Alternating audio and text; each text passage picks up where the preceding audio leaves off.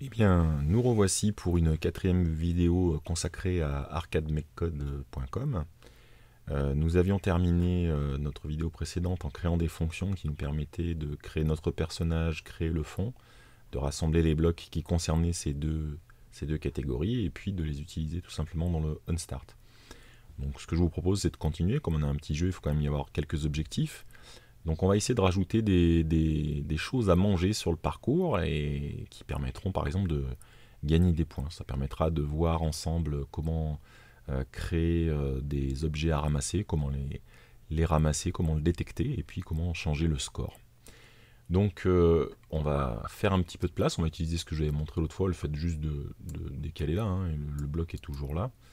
On va pas trop travailler sur le sprite pour l'instant. on peut même faire encore un petit peu de place vers le bas pour tous ces blocs-là. Voilà, on va arranger un peu. Hein. Donc, ce que nous allons faire, nous allons créer des, objets à ramasser. Moi, je voulais créer des bananes, mais euh, il faut savoir que dans Arcade Code, pour l'instant, il y a plein de choses à manger, mais il n'y a pas de bananes. Ça tombe bien, moi, j'aime aussi les fraises, donc c'est pas grave, on va faire avec. Donc, on va faire comme pour le fond et le personnage, on va créer une fonction qui va nous permettre de créer notre fraise. Donc euh, toujours ce petit bug là que j'ai signalé, j'espère qu'ils pourront le corriger, qui fait sautiller. Pour créer la fraise, on va tout simplement créer un sprite, comme on a déjà fait euh, pour euh, notre personnage. On va l'appeler fraise, bien sûr. Et puis, donc on va choisir dans la galerie, on va choisir la fraise. Choisissez ce que vous voulez, appelez-le comme vous voulez. Si vous préférez les cerises, n'hésitez pas. Et on va changer le type là. Le kind, c'est le type de, de choses qu'on peut gérer dans le jeu. Il, peut y en avoir, on peut en créer des nouveaux. Par défaut, il considère qu'il y a le player, le joueur. Il peut y avoir des projectiles, si jamais on lance des choses, tire des choses dans le jeu. Euh, la nourriture, qui souvent est considérée comme un bonus. Et puis éventuellement les ennemis. Donc on va déjà dans cette vidéo voir euh, la catégorie euh, qu'on ramasse en nourriture, food en anglais. Donc là, on va créer un sprite de fraise qui devrait apparaître d'ailleurs au milieu de l'écran quand il aura fini de charger. Euh, Ah ben non, il ne va pas charger tout de suite, puisqu'on a créé la fonction. Vous voyez, on se trompe régulièrement, je vous cache rien. Euh, c'est bien d'avoir créé la fonction, mais il faut quand même l'appeler euh, pareil dans notre bloc. Voilà. Et donc là, par défaut, ce qui va se passer, c'est comme ce qu'on avait fait dans la toute première vidéo où on avait rajouté notre sprite, ben, il apparaît au milieu de l'écran. Donc là, on va utiliser une, une mécanique liée au, au tile qu'on a déjà un petit peu vu. En fait, on va utiliser euh, une propriété sympa. Vous voyez, je mets des petites, j'utilise le vert par exemple, pour une couleur qu'on n'avait pas utilisée jusque-là.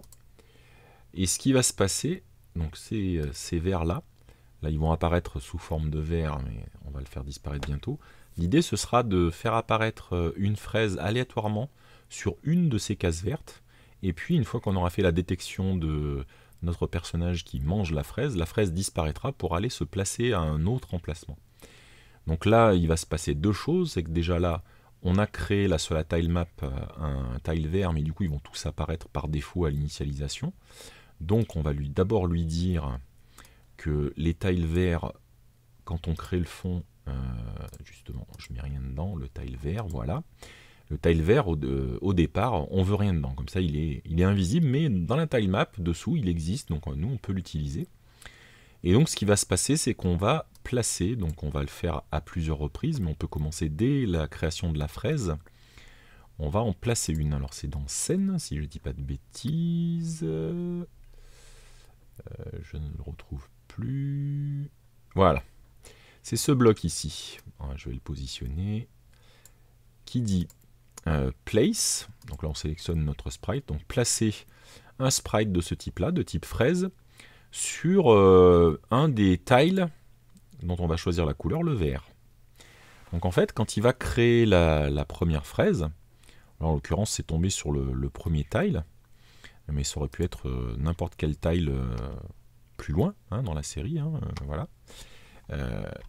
mais euh, pour l'instant, euh, il est placé de manière aléatoire sur euh, une des cases. Donc là, on passe à travers évidemment, puisqu'on n'a on rien rajouté pour gérer le fait qu'il y ait une, une collision éventuelle entre notre fraise et notre personnage. Donc pour ce faire, on va détecter une collision de sprites. Hein. donc ici, ça va s'appeler overlaps, c'est-à-dire quand ça se chevauche.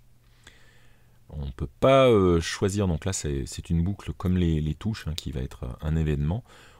J'ai pas trouvé de moyen, alors c'est peut-être pas possible pour l'instant en mode bloc, on peut le faire en mode code JavaScript, mais en mode bloc, on ne pas directement lui dire, je veux juste quand un sprite de type fraise euh, est touché par un sprite de type euh, Bob ou l'inverse. Mais on peut quand même spécifier par euh, type, par kind. Donc on dit qu'un sprite de kind de type player, quand il passe par-dessus un autre sprite de type nourriture, on va pouvoir faire quelque chose. Alors on peut un petit peu affiner hein, ce qu'on va mettre ici. C'est peut-être même plus intéressant de le faire tout de suite. On va quand même tester alors avec if, c'est tout ce qui est conditionnel. Euh, c'est quelque chose qui va vous être utile dans plein de, situations. Donc là, on va aller chercher euh, si l'overlap se fait. Alors c'est par ici, overlap. Overlap, voilà. Là, on va pouvoir le sélectionner. C'est un peu ce que j'aurais voulu dans la sélection initiale. Donc on va lui dire si euh, le sprite Bob passe par-dessus le sprite de fraise, ce qu'on va vouloir, c'est euh, le placer à un autre endroit et puis, euh, par exemple, incrémenter notre score. Donc, le placer à un autre endroit, en fait, on va utiliser le, même bloc que tout à l'heure quand c'était à, la création. Hein. On va simplement, là, je le copie, on va rajouter un. Donc là, automatiquement, il va le placer à un autre endroit. Donc déjà là, j'essaie de vous le montrer. Je pense que ça devrait déjà être fonctionnel. Allez, on place la petite fraise, merci, voilà encore très... Voilà. Et là, vous avez vu, je l'ai touché, elle a disparu pour aller au suivant. Alors, c'est pas forcément dans l'ordre, hein, vous voyez. Voilà. Donc là, on a déjà une mécanique où on va pouvoir ramasser des choses. Maintenant, ce qui serait bien, ça serait que au moment où euh, je touche, par exemple, euh, j'augmente mon score.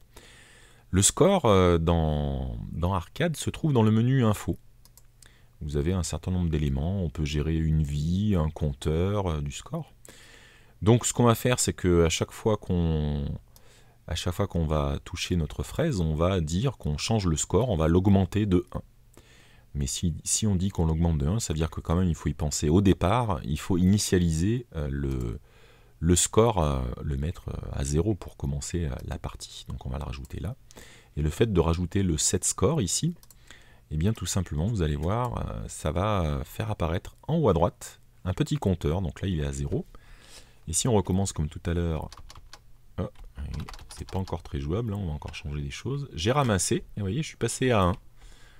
Donc on peut continuer, euh, et ainsi de suite. Hein. vous allez voir que ça continue. Je cherchais la fraise d'après. Il y a sûrement des fraises qui sont encore à gauche, et puis on peut imaginer de terminer la partie quand même, avec le son à la fin, les win et les confettis. Donc voilà, donc si euh, on veut résumer ce qu'on vient de faire, on a rajouté une fonction de création comme pour nos, notre fond et notre personnage, euh, qui crée un sprite de fraise, et on le place sur une des tiles vertes euh, qui nous permettent d'avoir aléatoirement sur la map, dans ce que nous avons défini, une fraise qui apparaît. Nous avons ensuite rajouté le bloc qui permet de détecter qu'un sprite de type player passe par-dessus un sprite de type nourriture. On a quand même bien fait un test avec le if, if veut dire si en français, hein, c'est si euh, j'ai Bob qui passe par-dessus la fraise, alors, then, alors, euh, je place une fraise à un autre endroit, donc elle disparaît de là où elle était, j'augmente mon score, et puis, euh, ma foi, regardez, pour terminer en beauté, on va, au moment où on ramasse une fraise, on va même rajouter un son, alors il y en a, il y a plusieurs, là on peut mettre Power Up si vous voulez. Et à partir de là, on, commence à avoir quelque chose qui commence à ressembler quand même à, un jeu simple, hein, certes, mais euh, qui est quand même déjà, euh, déjà utilisable. voilà, on va essayer d'avancer. Je vais quand même vous le montrer avec le son pour aller jusqu'au bout. Ah, il m'a caché la fraise évidemment cette fois-ci. Où est-elle? Où est-elle? Hop Et voilà, vous avez entendu le petit son quand je l'ai ramassé. Voilà, N'hésitez pas à faire vos propres modifications, à faire vos essais, changer le son, ne pas mettre une fraise, mettre autre chose, essayer différentes variantes et surtout euh, n'hésitez pas à me poser vos questions. Euh, j'y répondrai avec plaisir, soit par email, soit directement dans les commentaires. Et puis euh, pendant qu'on y est, si vous me mettez un petit like, un petit pouce au passage, ça me fera toujours plaisir. Je vous souhaite une bonne expérimentation avec arcademecode.com et puis à bientôt